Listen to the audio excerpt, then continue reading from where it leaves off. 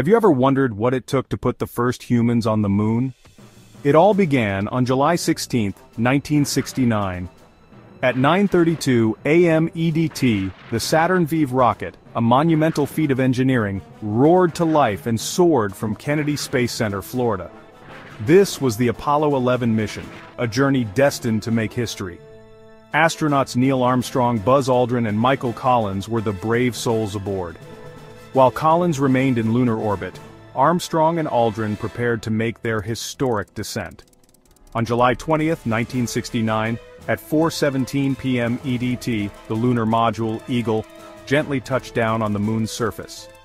Neil Armstrong then took that famous step saying, that's one small step for man, one giant leap for mankind. As Armstrong and Aldrin walked on the lunar surface, they conducted experiments and collected samples, forever changing our understanding of space. The Apollo 11 mission wasn't just a technical achievement, but a testament to human courage and ambition. It continues to inspire us to reach for new heights and explore the unknown. Learned in 60 seconds, stay informed.